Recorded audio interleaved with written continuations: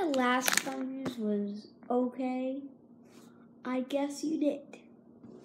Because now I have another Funviews tucked into there for you about something I like to call Cartoon Network.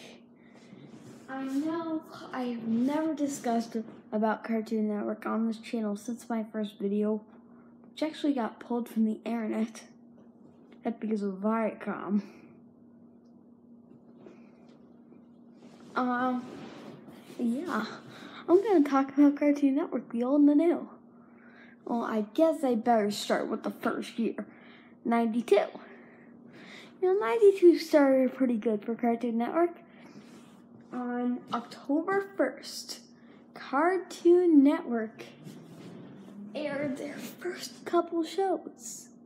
I mean, they did pretty good. I like them. And then when 1993 came, the network almost immediately exploded. I'll tell you the story now on Funviews. The news for Funviews. 1993. The year for Cartoon Network was rough. I mean, there were some pretty bad things coming out. Like, the Moxie Show. Yeah. I'm not a big fan. I'm actually not a fan at all. I have nightmares of Mox- Moxie sneaking into my room and killing everybody in my house. That's why I always lock the door when I go to bed. And just get scared. yeah, I was scared of that. So, 1994, you know? In 1994, things started to hover. The Moxie show got even creepier by introducing a fly. And Cartoon Network first started setting out their little plans for what was going on in the future, like Space Ghost Coast to Coast, starting out Adult Swim. And then I would like to get into something 1995. This is the year that Cartoon Network really started to pick up from from everything. Um, you had the classics, such as I don't know, World Premiere Dude started up. So you got all this fresh content. The cartoon cartoons just came out World Premiere Cartoons with a bang. It was so good, I loved them.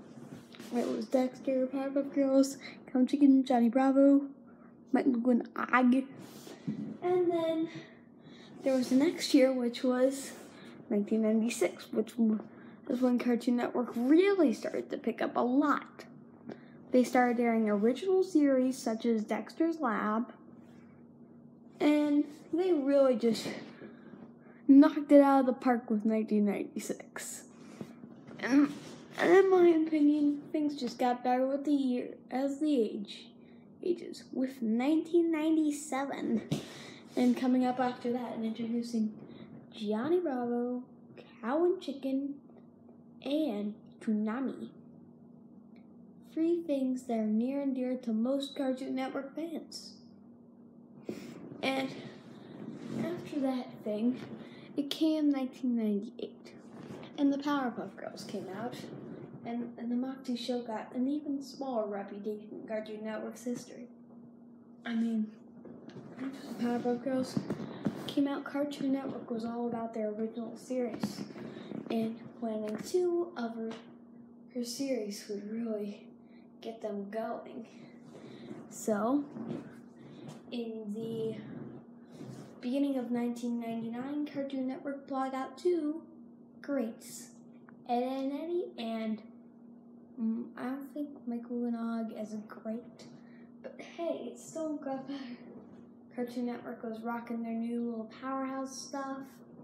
The original cartoons were getting a smaller and smaller reputation on the Cartoon Network. And guess what? The Moxie show got an even smaller reputation, which brings it from this to this to this. And finally, the big death toll for the Moxie show 2000, where Moxie show was ripped off the air around 15, 16 years ago and was replaced two months later and has never aired since. That's the Cartoon Network I would love to live in. And then there's the new stuff that came in 2000. There was, there's not really that much for the network. They always got their slow years. So, 2001.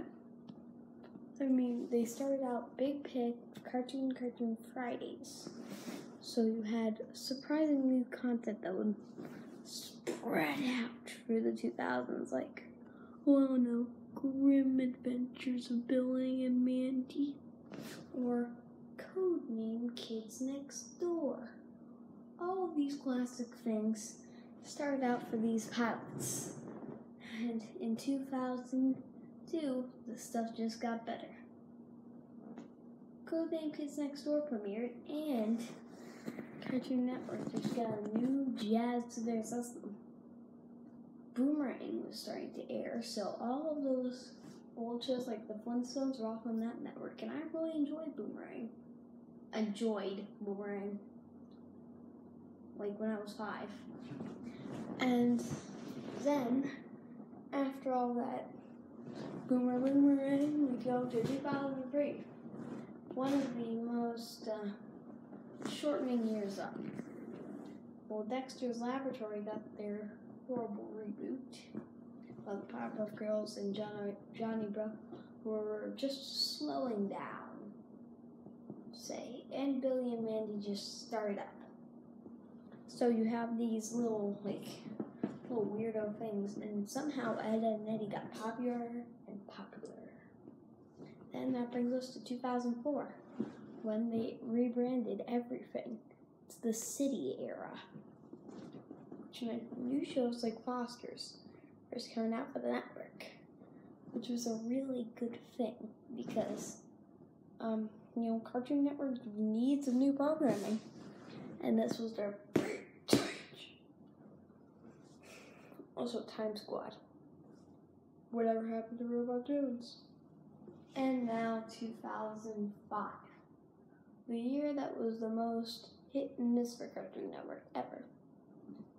Shows came out like My mm, I was about to say My Life as a Teenager. My Gym Partner is a Monkey, which I thought was cool, and I thought it was the worst show on Cartoon Network at the time. And ooh, I, I just can't remember anymore. The one that stuck out. Wait, Hi Hi Puppy Ummy Yumi. It's all that stuck out to me. So now I'm going on 2006, which was the year when the city brand sort of stopped in a bit, and Camp Lazlo came out, and you got these weird yes bumpers for Cartoon Network, which I thought were pretty okay weird, yeah. And then in 2007, Jim Samples, president of Cartoon Network, stepped down from position from a guilty thing.